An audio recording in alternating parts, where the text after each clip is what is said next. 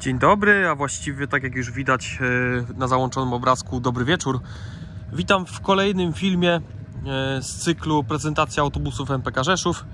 Dzisiaj biorę na tapet widocznego na załączonym obrazku Solarisa Urbino 12 elektryk czwartej generacji, wersja przedliftowa. E, Jeden z 10, póki, póki co, na chwilę kiedy to nagrywam. Na stanie MPK Rzeszów. Więc tak, z podstawowych danych technicznych e, jest, ten autobus jest wyposażony e, w dwa silniki trakcyjne umieszczone w piastach tylnych kół e, firmy ZF, oznaczenie AVE 130.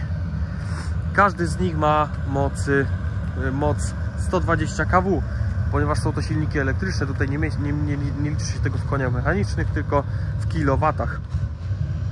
E, Autobus e, klasy Maxi 12-metrowy, układ drzwi jak widać 2, 2, 2. Z podstawowych, e, z podstawowych e, podstawowej obsługi na zewnątrz tego autobusu. Tutaj mamy klapkę i tutaj jest- jest złącze ładowania. I to złącze ładowania jest podłączane poprzez jest podłączane poprzez te stojące tutaj ładowarki i tutaj jest wtyczka. Dobra, wejdźmy do autobusu. Pokażę Wam go w środku. Odpalę sobie, zamknę sobie drzwi, żeby mi się tutaj nie zrobiło za zimno. Muszę się sprężać, bo za 8 minut mam wyjazd w kolejny kurs. Odpalę sobie przyzwolenie. Automatyczne zamykanie drzwi jest, od, jest odpalone. Więc chodźmy na wóz. Jeden z kasowników przy przednich drzwiach. Następnie mamy serię przycisków praktycznie na każdej barierce przycisków stop. Tutaj mamy jeden kasownik, drugi kasownik, dwa, czyli dwa przy środkowych drzwiach. Biletomacik. I tutaj mamy jeden kasownik przy tylnych drzwiach i oczywiście przyciski do otwierania drzwi. Zobaczmy sobie otwieranie, zamykanie drzwi. Tak wygląda otwieranie i zamykanie drzwi. Idźmy sobie dalej na autobus.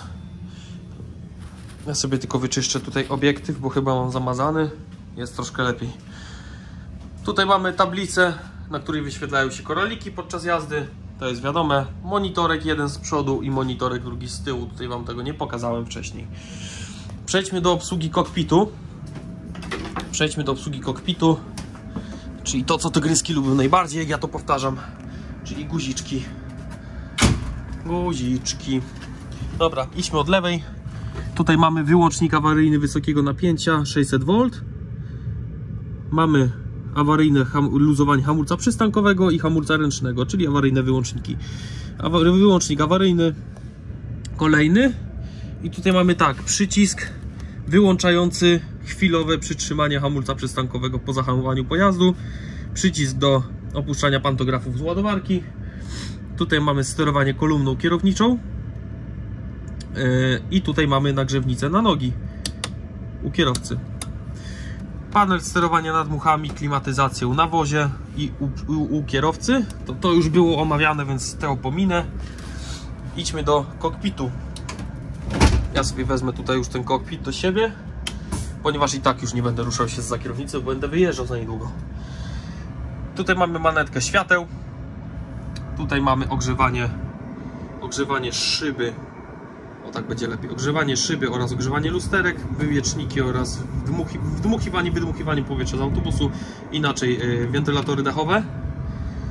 Yy, światło awaryjne. Tutaj mamy dodatkowe oświetlenie kabiny kierowcy. O to dokładnie.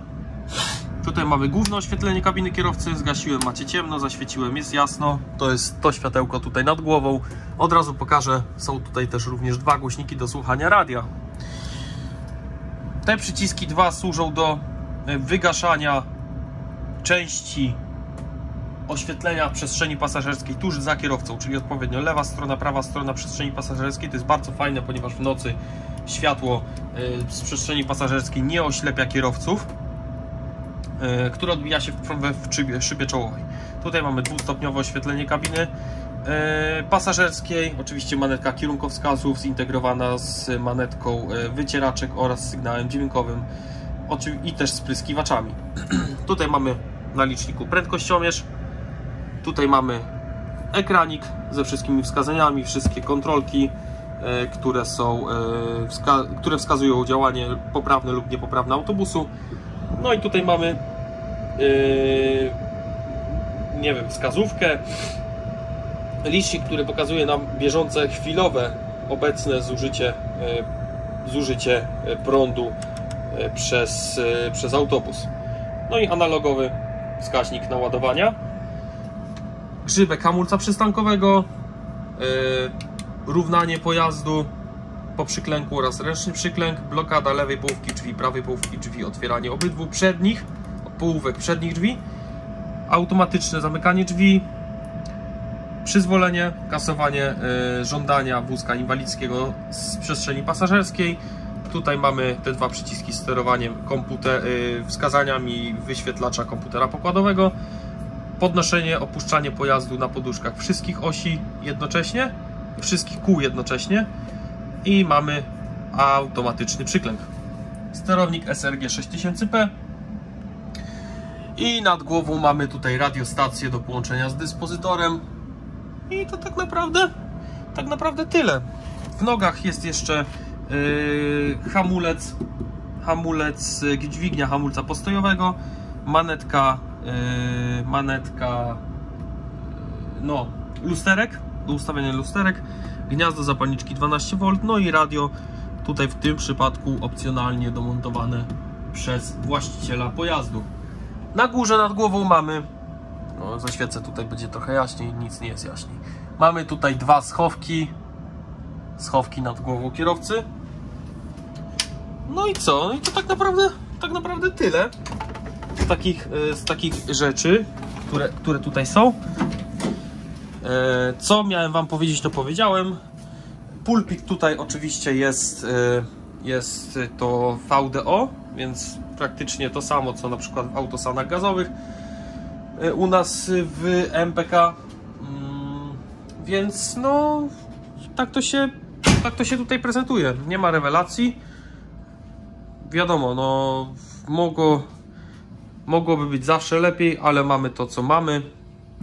I tak e, w chwili obecnej e, Solarisy Urbino czwartej generacji, jak i przeguby, tak i autobusy elektryczne to są najlepsze, najlepsze wozy na zajezdni MPK.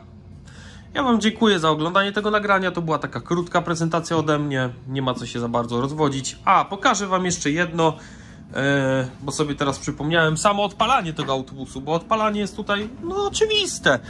Nie ma tutaj rozrusznika, nie jest to silnik spalinowy, więc nie przytrzymuje się kluczyka do odpalania. Ja tylko ten kluczyk łapię, po prostu klikam, pokazuje się taka biała strzałeczka.